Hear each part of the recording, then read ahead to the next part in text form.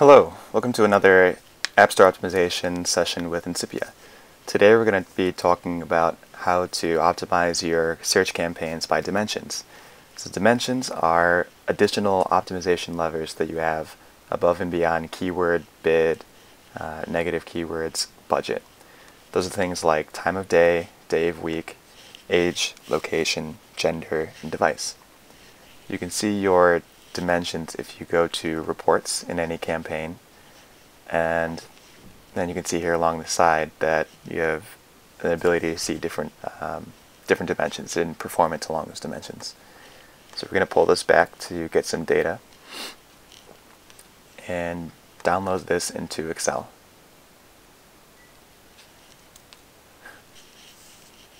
So one thing to mention here is that you'll only be able to analyze day of week, week or month if you go beyond seven days.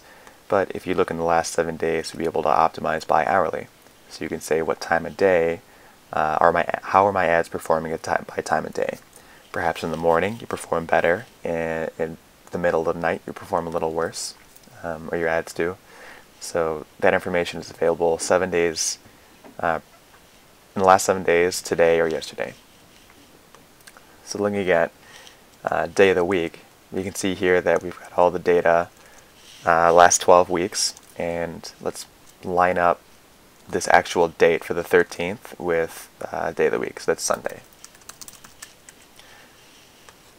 So let's transform all these into day of the week. Oops.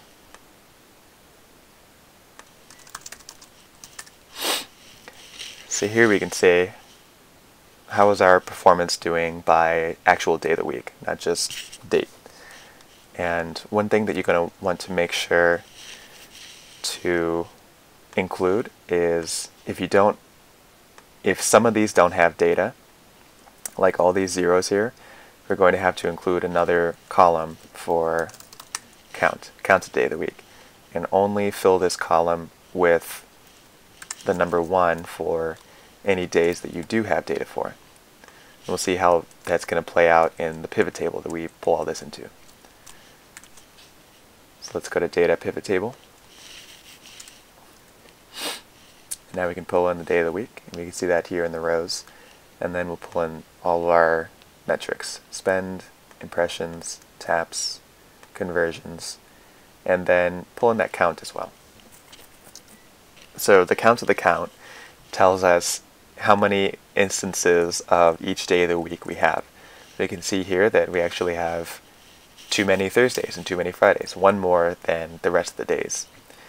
While this should still hold out when we're calculating um, ratios or averages like tap through rate, cost per tap, um, it will skew your analysis of conversions, taps, impressions, spend, these absolute total volume numbers.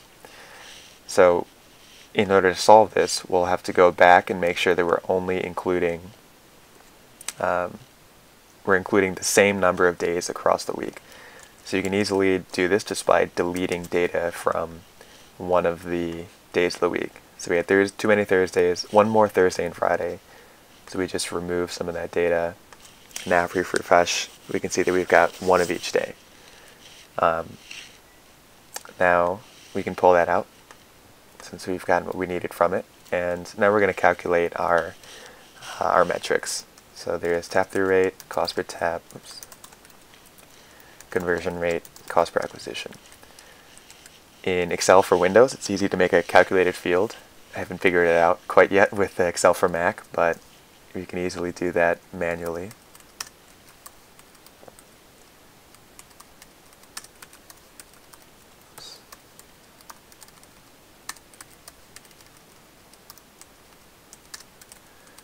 fill these down. And here's going to be your average row, or your sum or total. So, going to distinguish it like that. And we can use formatting to make things look a little better. and one thing that we like to do is to use conditional formatting to point out outliers, areas where performance is significantly higher or lower than the average, which is exactly what we're doing this analysis for. So by default, you're going to have the highest value show green and the lowest value show red. And you can reverse the polarity by selecting the, the other, um, other color scale. So for our, our uh, volume, our positive ratios like tap through rate and conversion rate, we're going to want to use that green highest value. And for our cost metrics, we're going to want to use the red as the highest value. We want to have to pay as little as possible for our our installs and our taps, or our conversions and our taps rather. I'm going to clear the totals row down here, just to make these a little more vibrant. so here we can see our performance by day of the week, and we can see that on um, Tuesday we have very significantly, well, we have good performance, better than the average according to our conditional formatting. We have a cost per acquisition of 40 cents versus uh, 59 cents on uh, Friday. Conversion rate is 53%. Friday it's 42%. Um, we have a lower cost per tap and a higher cost per tap on these two days. So we can see that Tuesday uh, things are looking pretty good, and Friday things are looking pretty grim. So couple things. So from this point, you might be thinking, you know, like, let's go Tuesday. Um, how do we optimize for it? Friday, let's let's get rid of that. A couple things to make sure that you're making the most informed decisions before taking action. So first, you're going to we can see that um, cost per tap is not significantly different on average. Tuesday it's just a little bit below. Friday is just a little bit above. So first, we're going to make sure that the actual percentage difference between each of these values is significant. And we can do that by subtracting or identifying the, the difference from the average.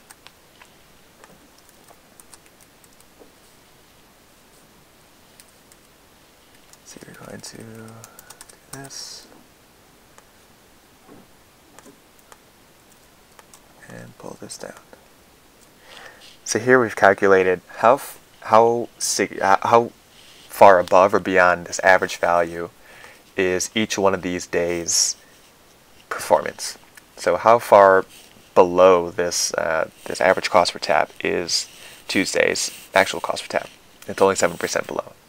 It's not too significant. However, its cost per acquisition is 20% below the average, which is pretty significant. And Fridays is 19% above, so that is significant as well. So when when doing this analysis, make sure that you're looking at, especially if you use conditional formatting, make sure that you're looking at a, a true difference. And I'm going to use a different uh, different color here so that we don't confuse the same because I'm applying it to all of these. Um, I'm just highlighting where the difference is higher or lower uh, without indicating that it's good or bad because we mixed up TTR and CPT and, and things together. So make sure that you're looking for differences, outliers that are significantly above or below the uh, the average, and you can actually get um, you, know, you can calculate the standard deviation and the mean around the mean and identify whether it's uh, standard deviation above or below. Um, that's the next step in becoming more confident, but for the purposes of this demonstration, this is significant. We identify that Saturdays tap through rate is significantly below. Uh, Tuesdays is significantly below for the cost requisition. There are some also pretty significant differences uh, for some other days. But at the end of the day, uh, so that's that's item number one for making sure that you're making uh, informed decisions. Number two is to identify your KPI. There are four different metrics here that we could use to identify whether performance is good or bad, but selecting a KPI, what we care most about, key performance indicator, is going to help us identify um, when and where we should take action. So tap through rate you know, is significantly higher on Sunday uh, as well as Thursday. It's, it's great. It's 15% above for both, 19% above for those days. However, if we make uh, a decision on that, you know, uh, Sunday's cost per acquisition and conversion rate are significantly the conversion rate is double digit percentage worse and the cost per acquisition is not that much better. So the purpose of a KPI is to tell you where to focus, where to look when you're trying to identify good or bad performance. Um, so by selecting a KPI as CPA, we know that we care most about this column right here, and this is where we're going to be looking for um, outliers to be identified. So the third thing that we're going to want to do is make sure that we have enough data before we make any actual decisions and take action. We only have one of each day here, and we have one week's worth of data, and we don't have significant amount of spend on any, any of these, uh, or impressions, taps, or conversions. So before we actually make a decision on this data, we would probably want to look at this for 28 days, which would give us four of each each day, seven, um, four weeks, uh, which would also not give us too many of one day or too many or too few of another, as 30 days would. 28 days worth of data, or if you have a, you know, tens of thousands of spend um, through this whole report, or thousands tens of thousands of impressions or thousands of taps or conversions, then that could also be significant in a smaller amount of time. Just make sure that you're looking at the same number of days um, for each instance so that you've got you know good consistency and context. So here, we'll probably want to keep an eye on Tuesday and keep an eye on uh, Friday to see whether these trends continue out over the next several weeks and they hold true. If they do, and the next time around we see that performance is negative 25%, and here performance is, um, let's say, negative uh, 9% above, then what we what this would tell us, let's say this is week two,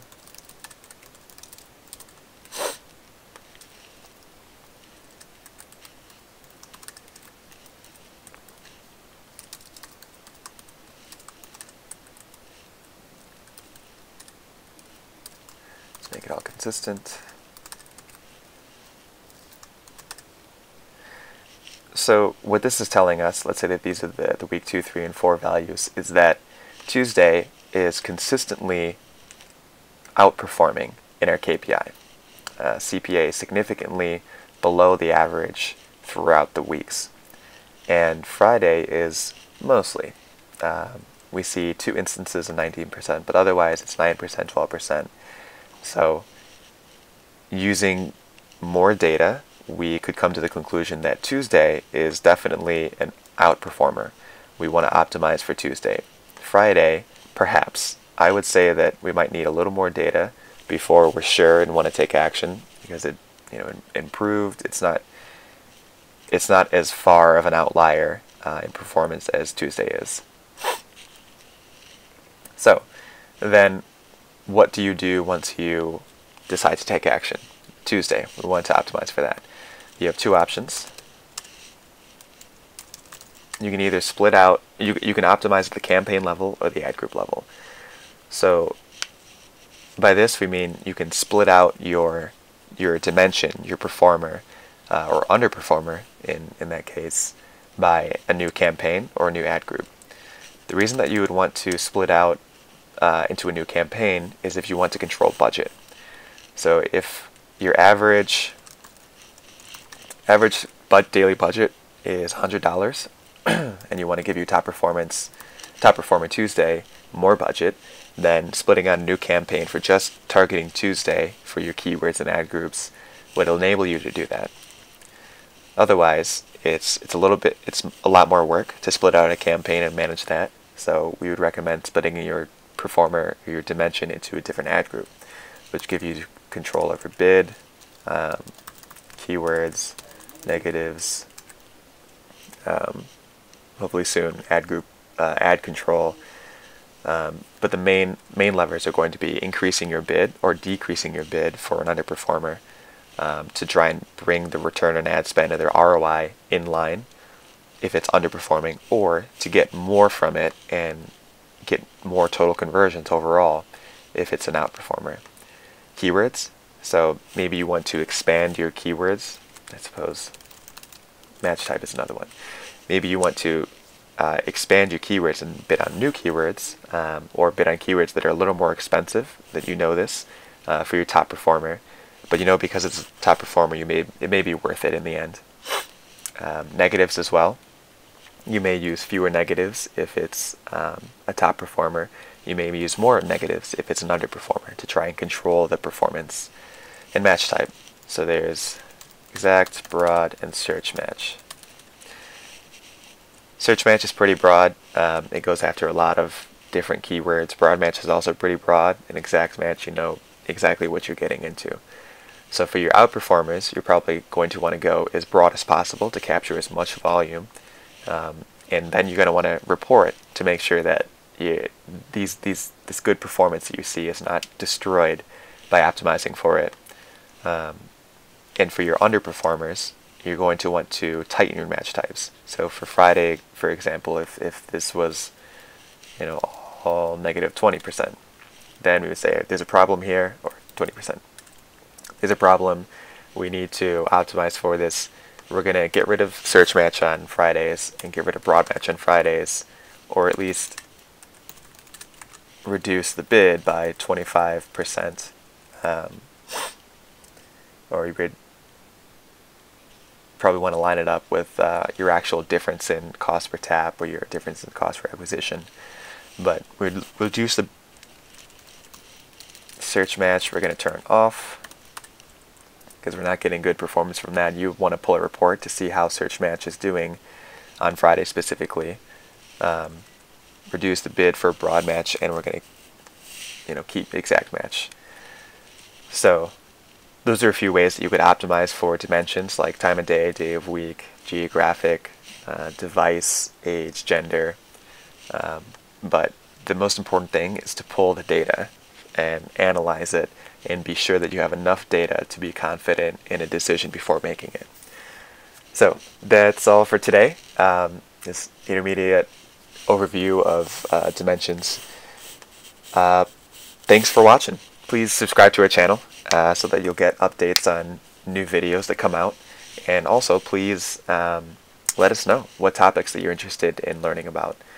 If there is uh, something that we haven't covered this far that you are really itching to learn about, uh, send an email to hello at incipia.co or tweet to us. Um, just let us know, and we're happy to answer your question through email or uh, do a video or write a post explaining an answer uh, to your question or some more information on it. Uh, we really love doing this stuff, writing posts, creating videos, um, taking all the knowledge that we've gained and are continuously gaining by the day to help everyone else uh, understand how to better optimize their search ads campaigns as well as App Store optimization. So please follow, uh, sign up for our email list, subscribe to our YouTube channel, and um, stay tuned for more updates. Thanks.